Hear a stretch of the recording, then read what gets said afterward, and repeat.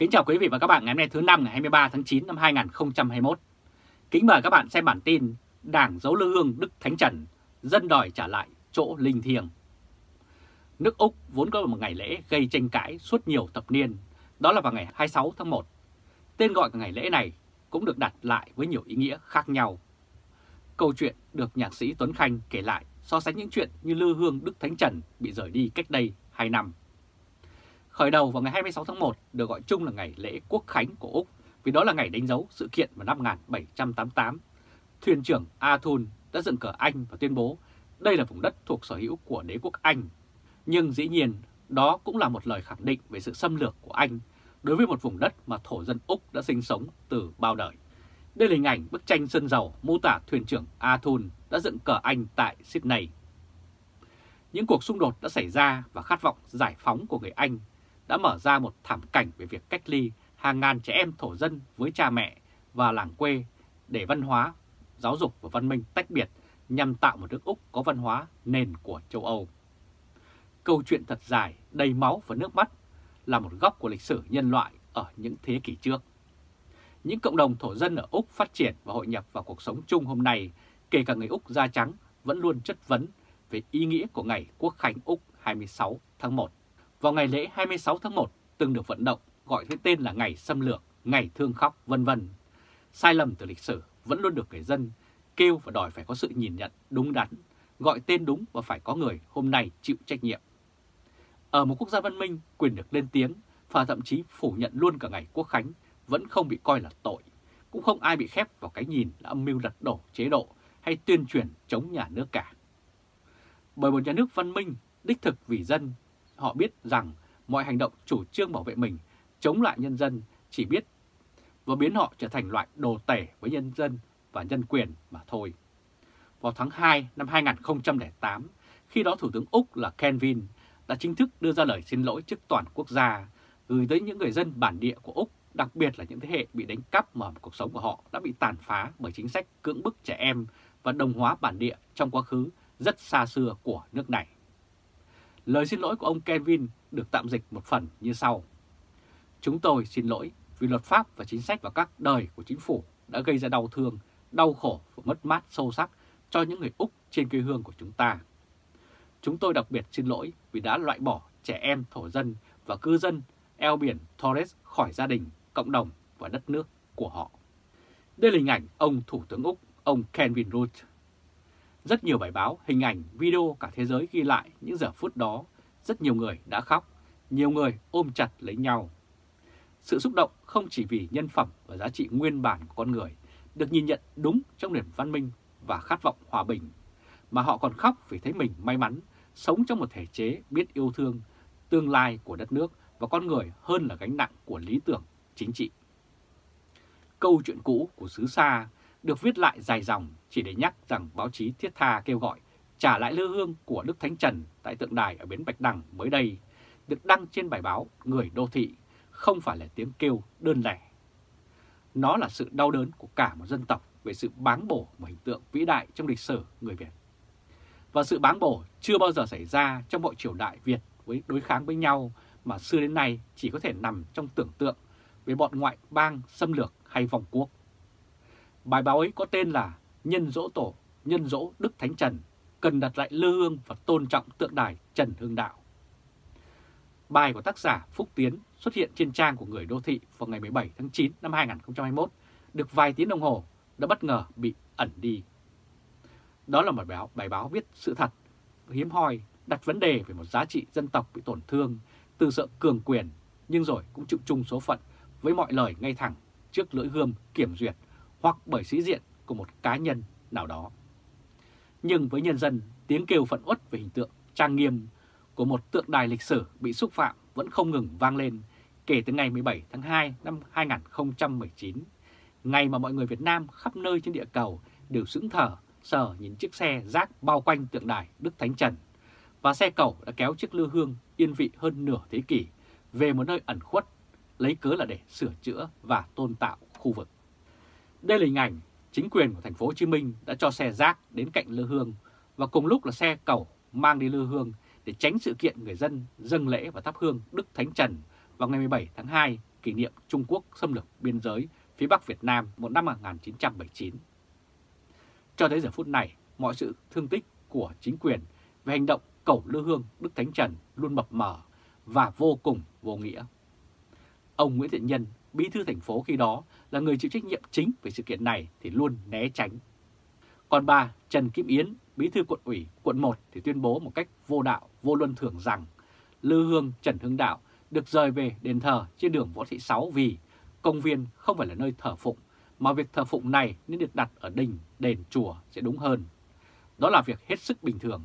mình đưa việc thờ phụng về đúng vị trí. Trong một bài viết phản ứng từ lúc ấy có tên là Đỉnh, Lư Hương và Thói Dối Trá, giáo sư Hoàng Dũng đã viết rằng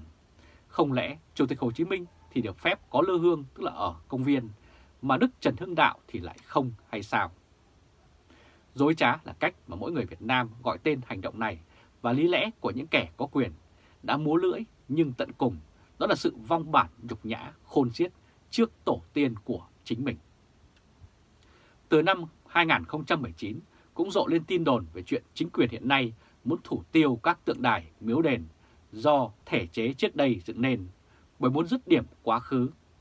Chuyện rời lư hương và bỏ mặc như vậy chỉ là nằm trong chuỗi hành động. Thật khó tin đó là chuyện có thật, nhất là với một chế độ trong thời đại văn minh này. Và tổ tiên Việt Nam chưa bao giờ phân biệt đứa con nào thờ phụng mình. Trả lại lư hương là cách chứng minh những lời đồn tồi tệ đó không có thật. Và cũng để chứng minh rằng trong chế độ hôm nay không có chuyện quyền lực cá nhân hay sĩ diện của một quan chức có thể ngồi xổm trên linh hồn tổ tiên và của một cộng đồng dân cư đã sống với giá trị tâm linh đó suốt bao nhiêu năm qua. Và quả bóng thì đang ở chân những người có trách nhiệm hôm nay. Những sai lầm hôm qua không có nghĩa là thứ nhất định hôm nay buộc mọi người phải cùng chia nhau vuốt mặt.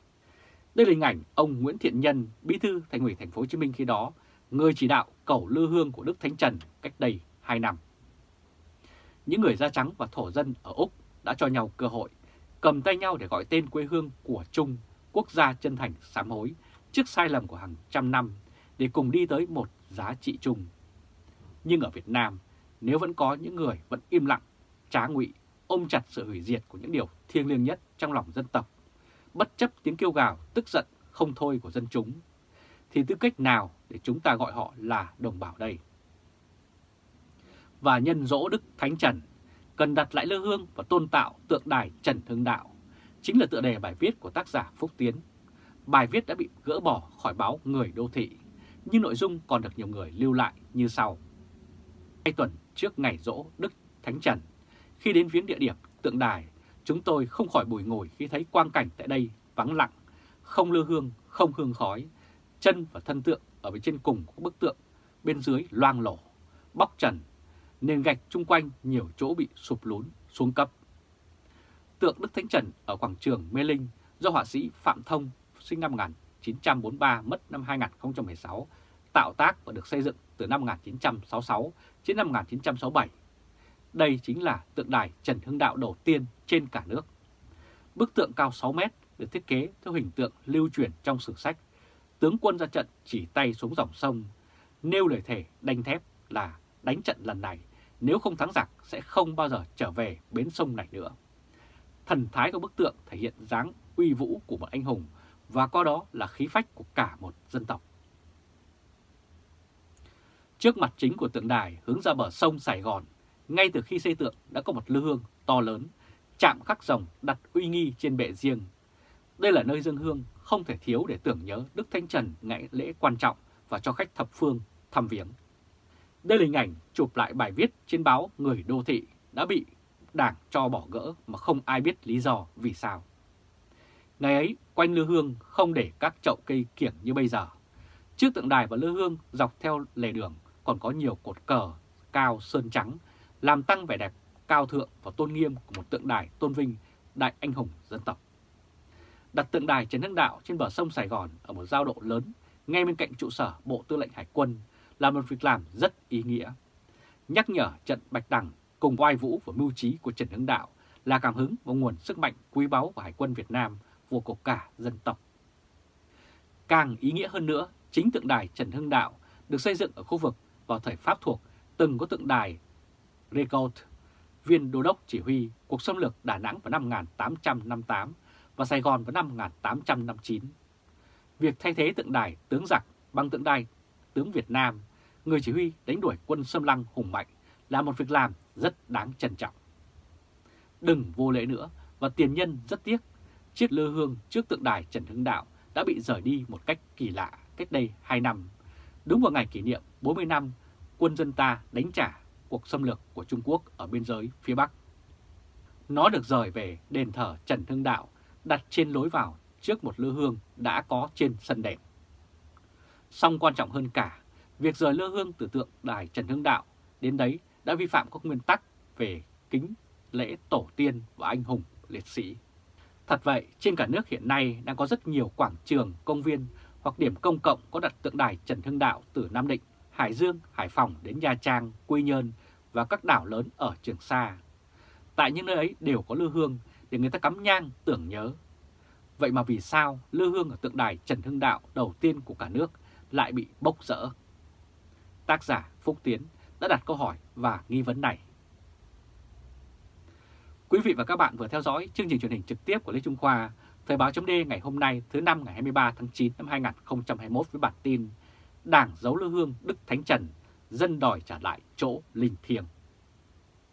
Quý vị và các bạn hãy chia sẻ video này cho nhiều người biết và bấm nút theo dõi YouTube và Facebook của Thời báo chấm để luôn được cập nhật những bản tin mới nhất, nhanh nhất và trung thực nhất. Từ Berlin, Cộng hòa Liên bang Đức, chào các bạn và hẹn gặp lại các bạn vào bản tin lần tới. Trung Khoa Thời báo chấm